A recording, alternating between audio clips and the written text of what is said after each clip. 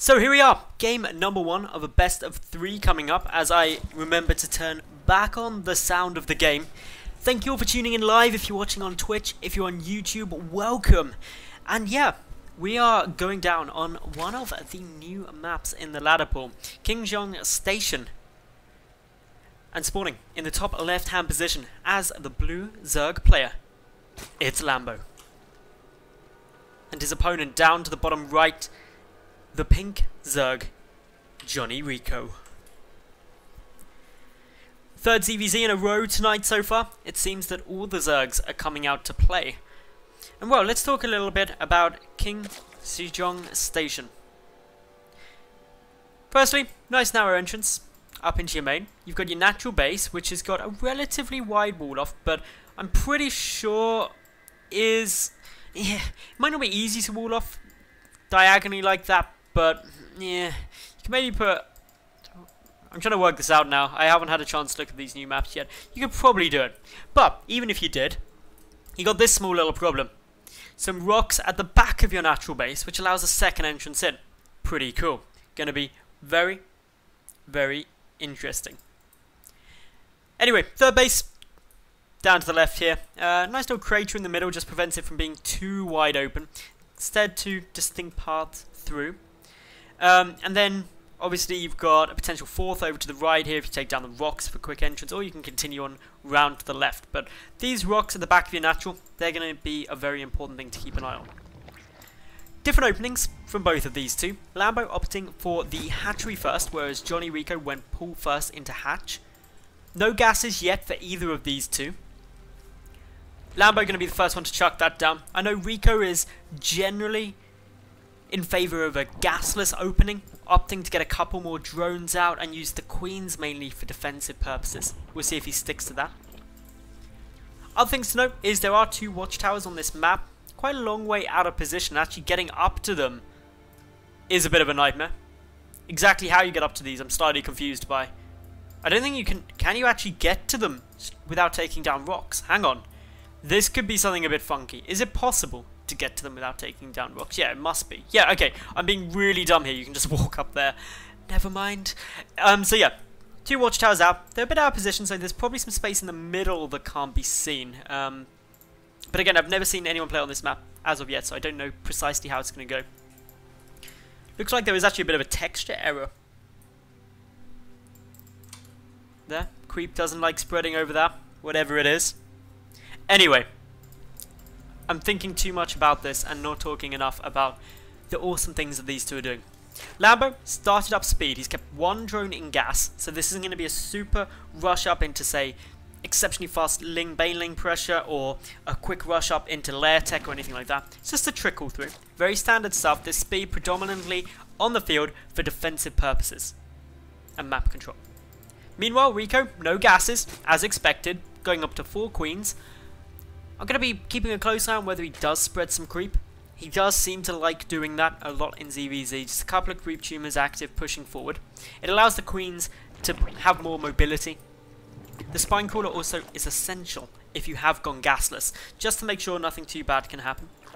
Scouting information somewhat limited. Love this overlord placement by Rico. Um, Putting it down to the left with your first overlord just keeps you a bit safer. You can actually see both gases then in the natural as well to know if you're going to be up against any Mutalisk style play. And these are also completely safe from queens because of these rocks. Meanwhile, Lambo just checking out what's going on, taking a look down this massive hole with light glowing out of it. The Zergling just like on the edge there. Considering what he's done with his life and where he's going with it. Kind of like a pit of doom. You wouldn't want to get kicked down there. Anyway, third bases coming down from Lambo. None yet for Rico. Johnny Rico adding in his gases now, though. Going up to four gases very early on. Evolution Chamber starting up for Lambo. His gases, or additional gases, now getting taken too. Uh, he's going to be going up to three for the moment. Really important to see whether he does take a fourth one or not, but he does have the third base. Rico adding in the Roach Warren, and it looks like, yep, this is possible to wall off with the Spine, two Queens, and of course um, the double Evo plus Roach Warren. This prevents Lambo from getting in or doing any kind of damage, which is nice. Rico's also got his lair now on its way. And Lambo's getting plus one down. Rico probably going to be following up with that one one upgrades from these double evolution chambers once they're finished. Third base for Lambo. This is huge, and I'm very surprised that Rico doesn't have any Overlord looking at any of the potential... Well, he's looking to his left base, but it's really unlikely that'll be a third because of the rocks. Interesting that he hasn't checked up here, because Lambo's now getting a three, a free third base for a long time.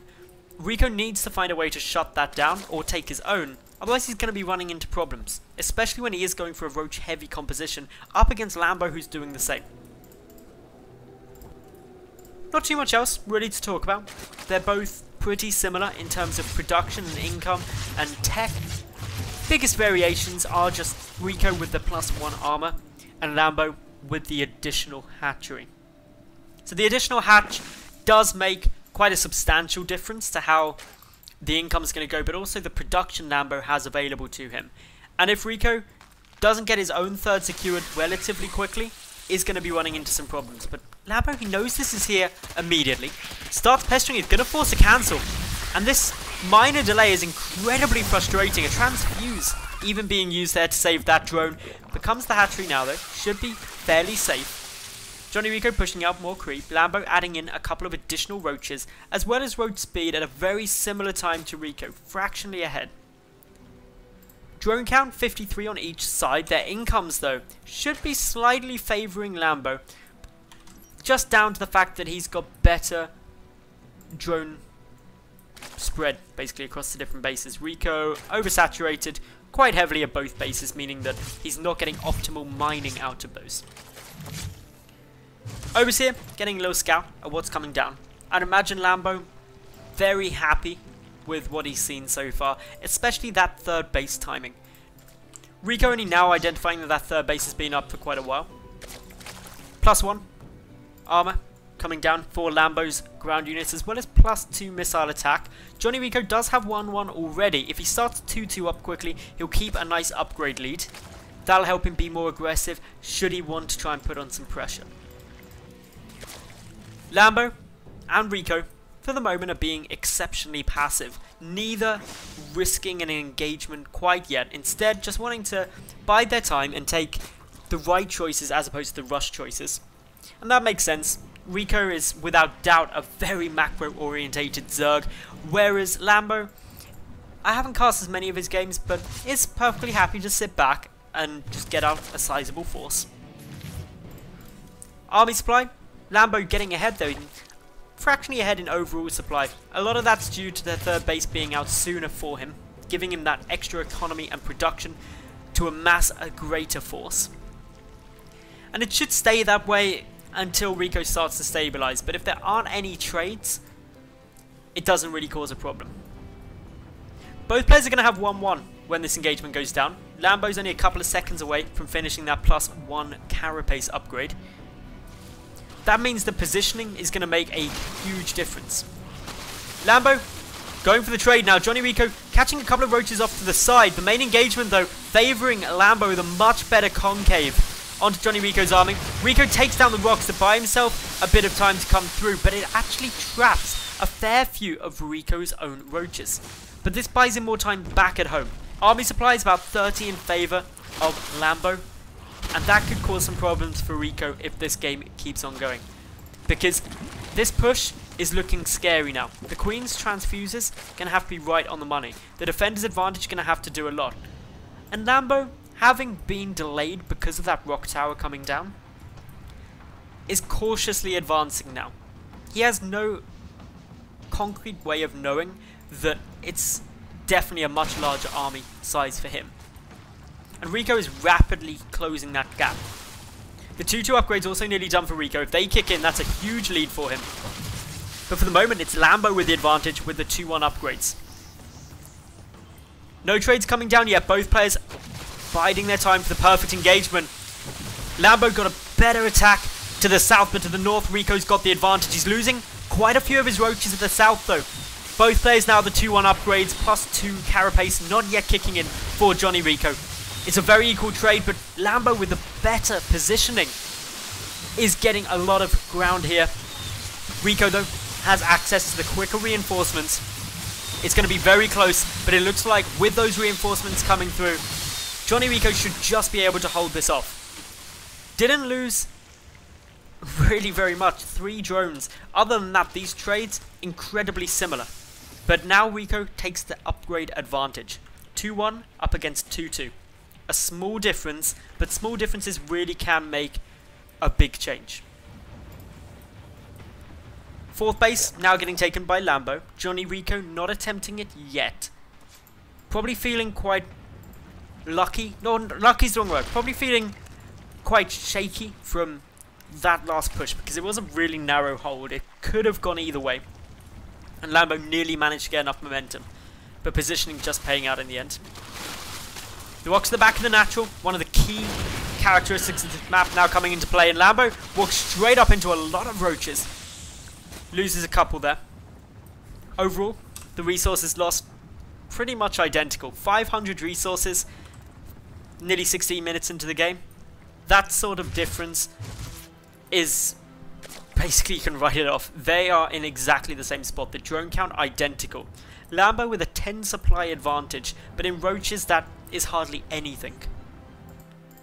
Fourth base though, that could be a deciding thing.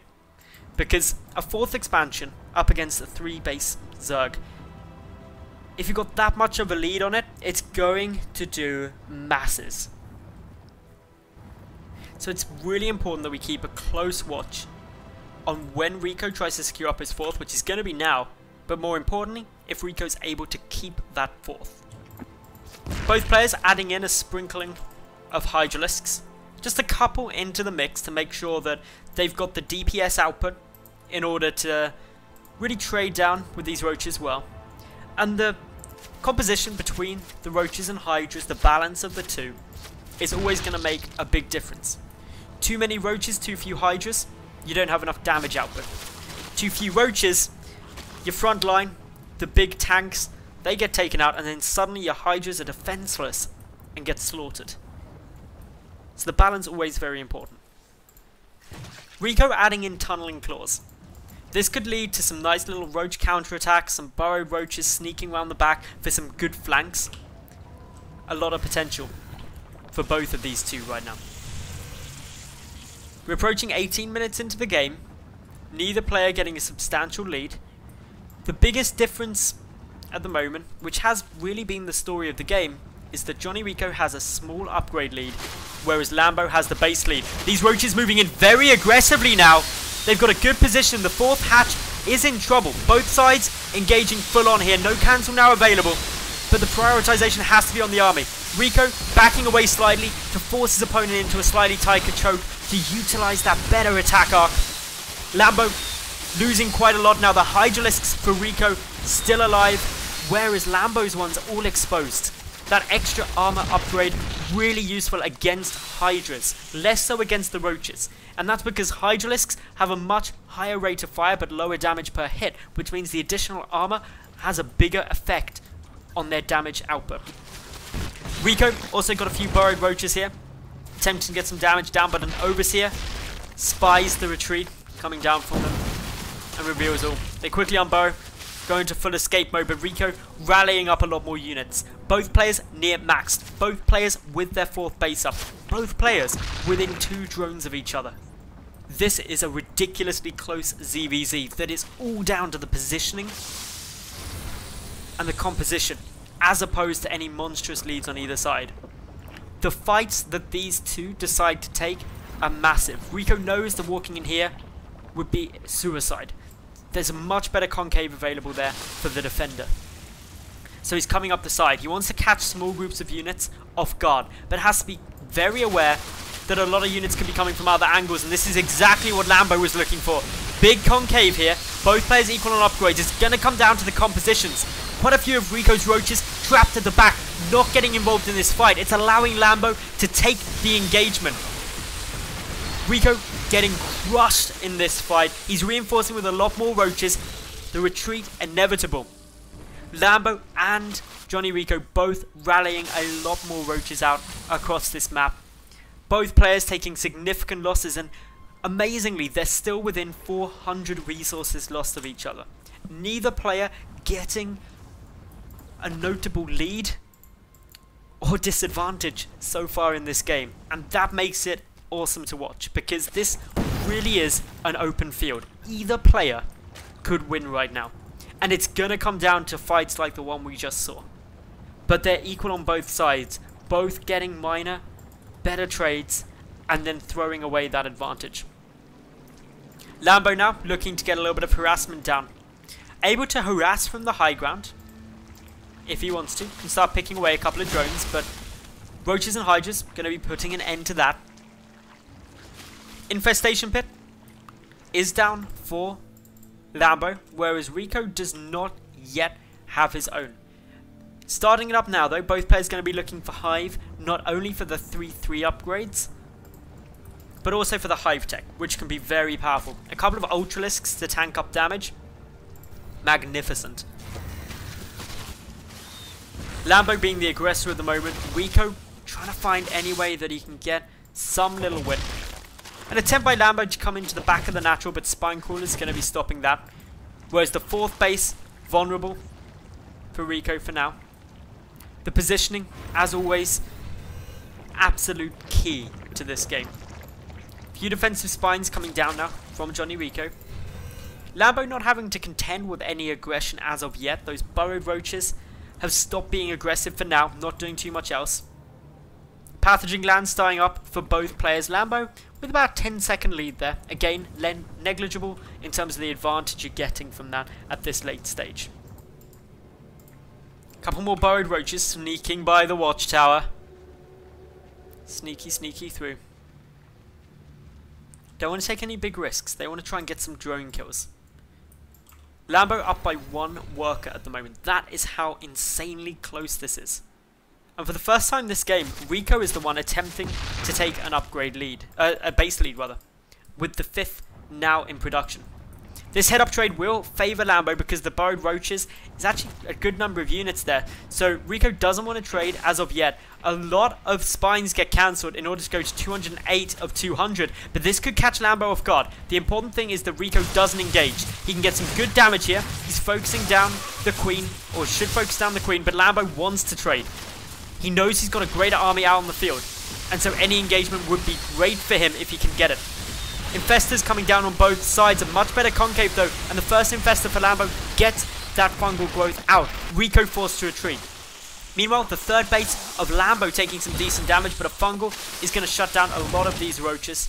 They burrow up, but a fungal growth does, of course, reveal hidden units too. But Rico, straight for the main, wants to get a couple more worker kills. Those 20 worker kills will be very decisive in how this game goes, because neither player has a substantial bank, their continued income, critical to making things work. A few more roaches also in here, getting just a couple more worker kills. Rico able to resupply, or should be able to resupply quicker, but for them now, we see Lambo actually with the better overall supply. And a lot of that is in army. He's 30 army supply up. He's got more army supply available to him because of the lower drone count. And that will make the following defense for Rico a lot tougher. Lambo also has access to a couple more fungal growths, I believe. Actually, no, he's got one less. So the fungal growths, as always, going to be an absolute critical component to how this goes. Are we going to actually manage to see Lambo come back from this? He has to win the next few trades. Waiting for that infestor could see a couple of nice fungals the positioning, the fungal growth, as always, going to be critical. Johnny Rico can get a very nice trade here. Gets a massive fungal growth there. Needs to keep them coming, though. Better concave for Rico. Better fungals for Rico at the moment. Trapping a lot of those units out of position to engage. Pushing in heavily. Resupplying as well. But Rico winning this engagement very nicely. A couple infested Terrans there. Just keeping that hatchery. One more shot onto it will kill it. It's going to be so close, and it is able to go down a hero Hydralisk there. But Rico, with his fifth base up, is looking pretty good. And regardless, there were a couple of roaches counter-attacking, and Lambo just knew that there was no way he would come back from that.